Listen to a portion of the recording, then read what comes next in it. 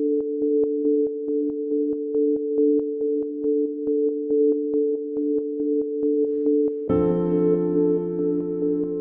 progetto Crateri, promosso eh, attraverso un bando dall'Istituto per i Beni Artistici, Culturali e Naturali della Regione Emilia-Romagna,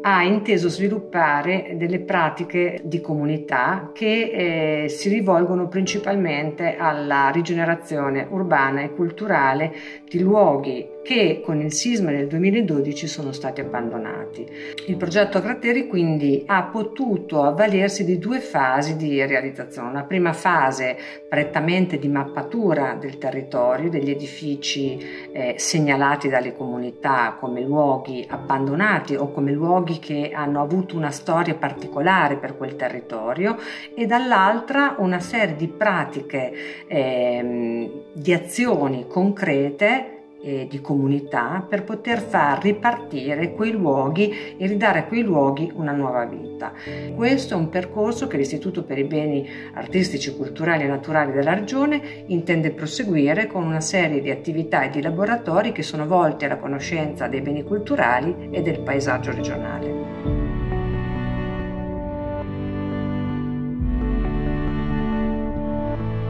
Immaginiamo un tessuto vitale dove le realtà che già sono presenti e sono di altissimo valore che guardano soprattutto ai temi della cultura, della musica e della fotografia possano fiorire, moltiplicarsi e quindi produrre un valore sociale sempre eh, maggiore. La nostra forse è anche più un'ambizione ed è quella di permettere che certe connessioni eh, siano facilitate, che il diritto visto come uno strumento di ostacolo alla realizzazione di esperienze positive possa diventare invece uno strumento e un volano garantire una più efficiente gestione degli spazi, una gestione degli spazi che garantisca l'accessibilità e che favorisca strumenti di collaborazione e generatività urbana.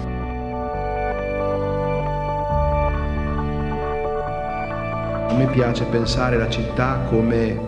la città delle pietre, usando una parola latina, la urbs,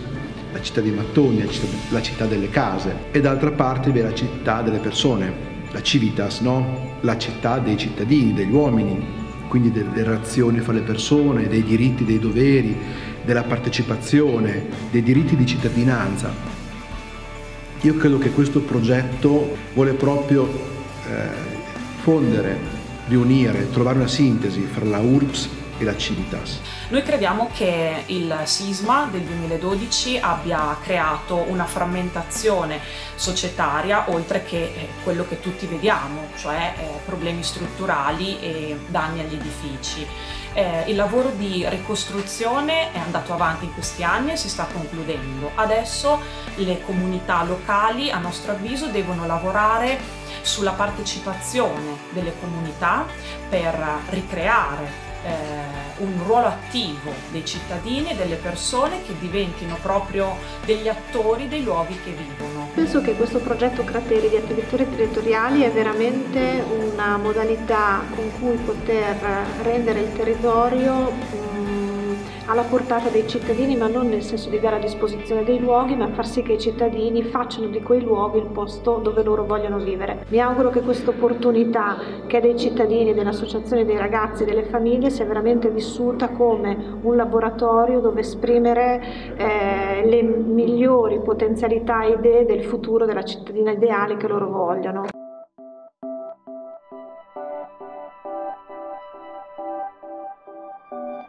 Credo che mm, il progetto Crateri abbia mm, un'importanza eh, per la pubblica amministrazione di questi territori, eh, in particolare nella possibilità di riconoscere eh, all'interno dei processi di rigenerazione urbana una componente legata all'attività eh, sociale e culturale sui territori eh, che è eh, particolarmente rilevante. Gli sviluppi possibili del progetto di Crateri siano quasi come tutte le impressioni che i bambini ci hanno dato oggi durante il laboratorio, il primo laboratorio che abbiamo fatto alla scuola primaria di Medolla. l'incentivare anche i singoli cittadini, anche i bambini in questo caso, nel, eh, nel dare un proprio contributo alla crescita della città. Io credo che il progetto Crateri sia per l'amministrazione una grande opportunità, un'opportunità per eh, agganciare le comunità che si dovranno prendere cura degli spazi pubblici, dei luoghi che sono oggetti del percorso di rigenerazione urbana Credo che sia un'opportunità per costruirsi anche all'interno proprio del personale che lavora nelle amministrazioni eh, delle nuove competenze, un modo più interdisciplinare di lavorare perché rigenerazione un, vuol dire rigenerazione urbana ma vuol dire anche rigenerazione culturale, vuol dire rigenerazione sociale, quindi ci sono tanti aspetti da interlacciare e da affrontare diciamo orizzontalmente sulla base della nostra esperienza riteniamo che la rigenerazione urbana deve essere intesa come un uh, processo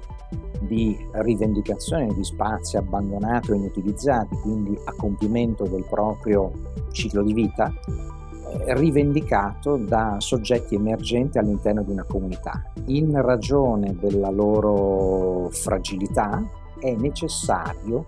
che tale rivendicazione avvenga in una condizione di eccezionalità. Da questo punto di vista l'uso temporaneo è la risposta affinché i risultati attesi siano all'altezza delle aspettative e delle ambizioni dei processi stessi.